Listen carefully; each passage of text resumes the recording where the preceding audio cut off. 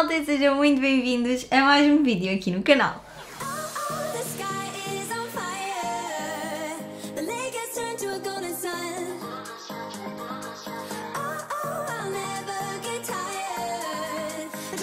Como vocês já viram pelo título, nós hoje temos um vídeo de maquilhagem, mas temos um vídeo de maquilhagem muito especial, porque nós vamos estar aqui a experimentar, a testar a nova paleta dos Friends. Na verdade não é nova, porque no dia em que eu a comprei, eles lançaram uma nova coleção. Mas antes de começarmos com este vídeo, malta, vocês já sabem o que é que têm que fazer. Deixar o vosso like em baixo, subscrever ao canal e ativar também o sininho das notificações. Não se esqueçam de passar lá no Instagram e seguirem por lá o meu novo utilizador é Joana Gentil. E agora, sem mais demoras, bora lá começar com este vídeo. Entretanto, nós hoje temos aqui uma assistente, que é a Área, que se calhar estão a ouvir porque ela está a mexer sacas. A Área estava só a chorar compulsivamente, não queria ficar sozinha na sala com a Phoebe. Portanto, ela não estava sozinha, mas não queria ficar lá com a Phoebe, então está aqui a fazer-me companhia. Como eu vos estava a explicar, esta paleta não é propriamente a última que saiu em relação a esta coleção dos Friends com a Makeup Revolution. No dia em que eles anunciaram esta coleção, eu recebi tantas, mas tantas mensagens vossas a pedir para eu experimentar esta paleta que quando a paleta veio assim ao ar, não é? Quando saiu, eles não lançaram só uma paleta, também lançaram batons, lançaram um espelho que eu quero tanto e lançaram outras coisas, acho, tipo acessórios e assim.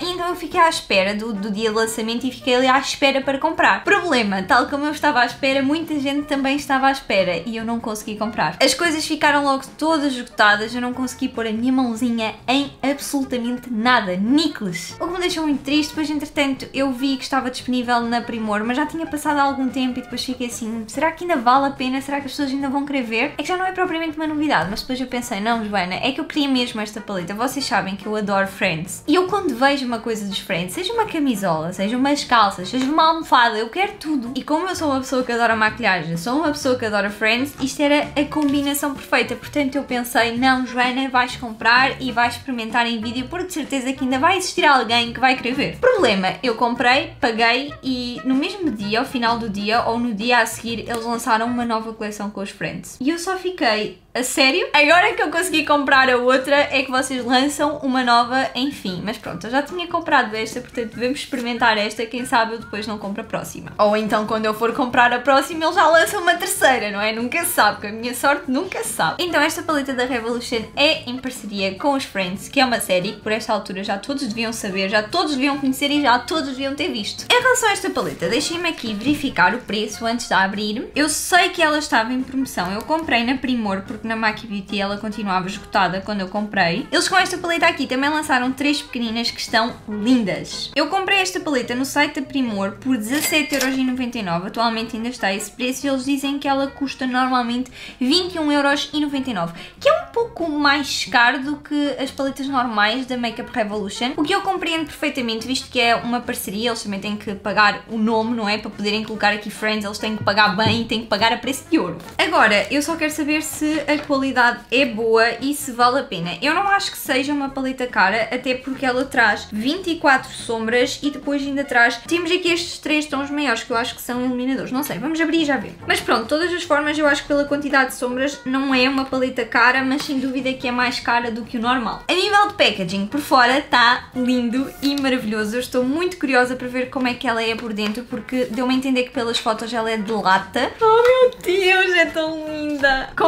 Confirma-se, é uma paleta assim de lata. Eu acho que mesmo para quem gosta dos Friends, para quem é colecionador de maquilhagem ou de coisas dos Friends, acaba por ser uma peça de coleção muito bonita. Novamente, packaging 5 estrelas. Vamos então agora aqui abrir a paleta e ver como é que ela é por dentro. Oh meu Deus! Olhem para isto tão linda. É uma paleta que fazia falta na minha coleção, eu não tinha estes tons. Não, eu tenho estes tons em muitas outras paletas, mas acaba por ser uma paleta bastante fixe para quem não tem muitas, acaba se calhar por aqui conseguir ter todos aqueles tons mais do dia a dia. Outra coisa muito boa é que tem um espelho, e não é um espelho qualquer, é um espelho gigante. E estes três tons aqui do meio realmente parecem ser iluminadores. Nós temos sombras mate, temos sombras com brilhos e como eu vos digo, eu acho que temos um pouco de cada tom. Eu vou tentar fazer um olho um pouco mais diferente, se calhar fazer um olho mais alaranjado e com este amarelo parecer um, um pouco diferente daquilo que eu costumo de fazer normalmente. Mas sem dúvida alguma, com esta paleta nós conseguimos fazer aquele look bem básico, assim, em tons de castanho ou em tons de rosa, mas depois também temos um pop de cor, por exemplo, este azul acho que é um pop de cor bem bonito. Outra coisa que eu tenho que falar é em relação ao nome das sombras. Todos os nomes das sombras são nomes de personagens da série, pelo aquilo que eu estou a perceber. Até o Gunter tem uma sombra. Meu Deus, até o Ugly Naked Guy. Aqui fora da paleta eles escreveram The One With, porque todos os episódios dos Friends começam exatamente assim, The One With Rachel ou qualquer coisa. Eles começam todos os episódios desta forma. Achei que também era um pormenor bastante engraçado. Olhem, para uma pessoa que gosta de Friends, esta paleta é, é assim, é certa, né? É um tiro certeiro. Agora, resta-nos ver a nível de qualidade, mas eu gosto bastante da qualidade da Makeup Revolution. Malta, eu tenho que fazer isto.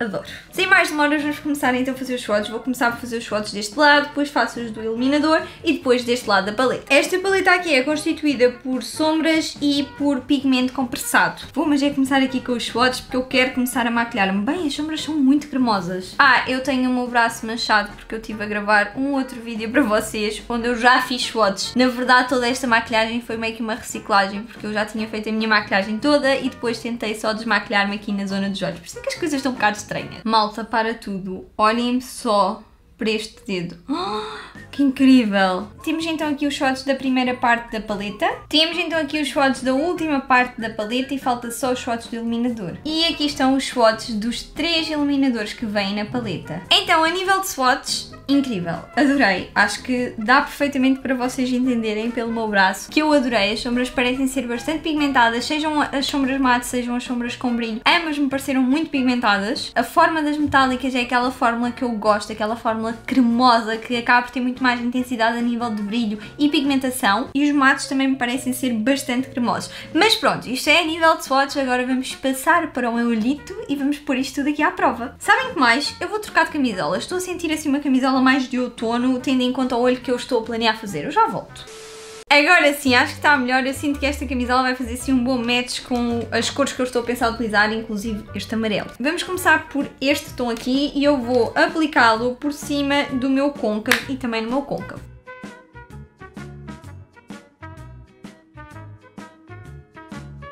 E então, em relação a este primeiro tom, não tenho absolutamente nada a apontar. Ele é pigmentado e está a esfumar bastante bem. Ele está a ficar exatamente como eu tinha idealizado na minha cabeça. Vocês não estão a entender, eu estou tão excited para gravar este vídeo. Eu já tenho esta paleta aqui em casa há algum tempo. Visto que já não era uma novidade, novidade, eu tive que dar prioridade aos outros vídeos que já estavam e que já estavam planeados sair. E agora é que está a sair este vídeo, que eu não aguentava mais. Eu precisava mesmo de testar esta paleta. Bom, primeiro tom aplicado. Agora, eu acho que vou já aqui navegar na Phoebe, que ela era... By the way, vocês sabem que a minha cadela se chama Phoebe, certamente. E a minha cadela chama-se Phoebe exatamente por causa dos Friends, da Phoebe, dos Friends. Vou então aqui à Phoebe, que é o tom laranja, é o tom mais vibrante de toda a paleta. Uh, gosto! Gostei muito deste laranja, por norma os laranjas mates eu sinto que são sempre muito difíceis de terem um bom pigmento e até acho que esta sombra tem muito pigmento, ainda para mais quando temos em conta que é uma paleta acessível. Vamos com tudo e vamos passar então aqui para o Frank, que é este amarelo. É um amarelo meio que amarelo torrado,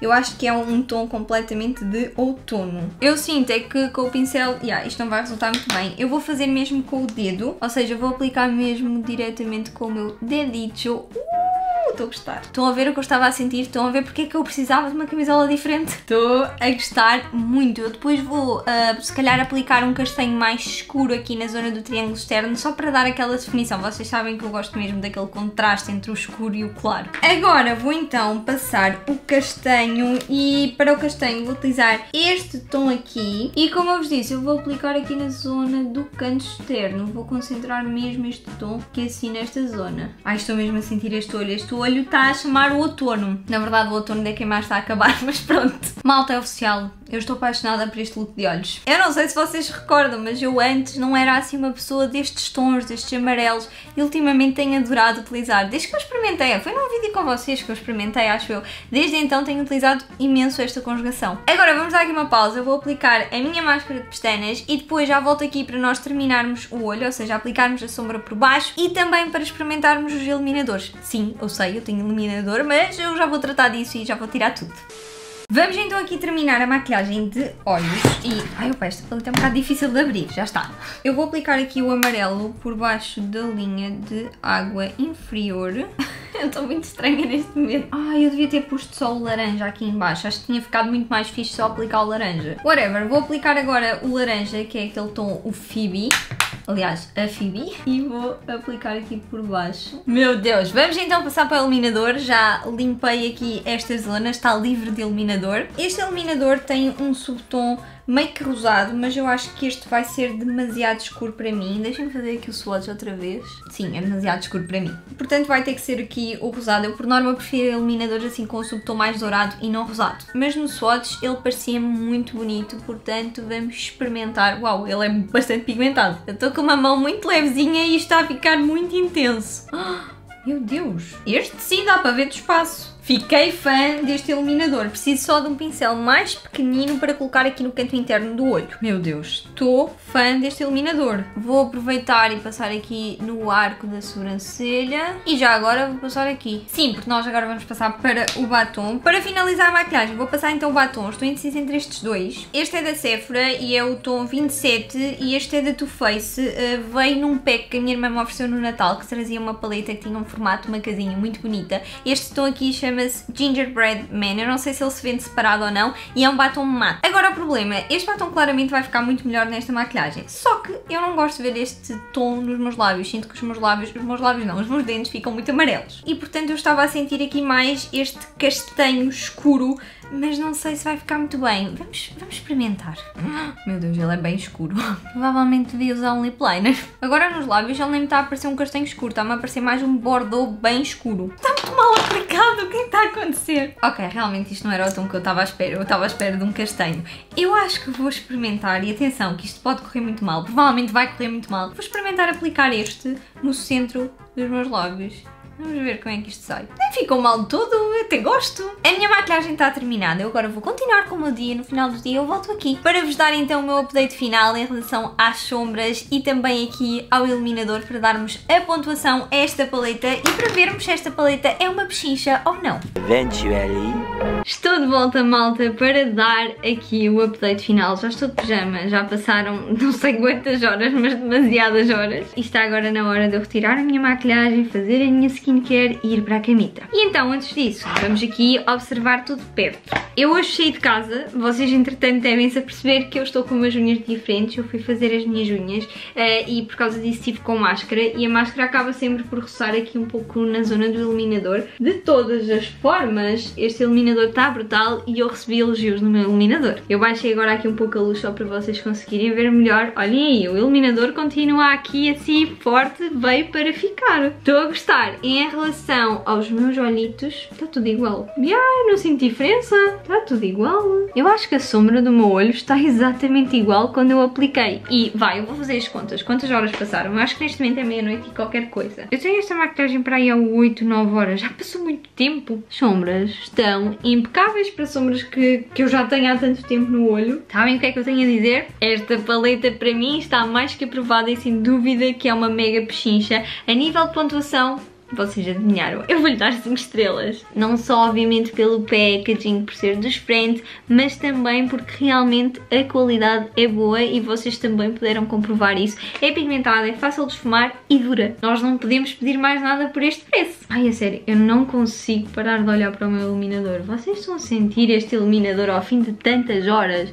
e está assim, neste estado. Enfim, estou sem palavras, malta. Espero muito que vocês tenham gostado deste vídeo e sem dúvida que esta paleta dos Friends é uma autêntica pechincha. Se vocês quiserem que eu experimente assim mais paletas específicas, coisas de maquilhagem, marcas de maquilhagem específicas, deixem aí nos comentários para eu saber. Não se esqueçam obviamente de deixar o vosso like em baixo, subscrever ao canal e ativar também o sininho das notificações. Passem pelo Instagram, sigam por lá o meu nome utilizador é Gentil e agora está na hora de eu me despedir desta maquilhagem despedir-me também, despedir-me.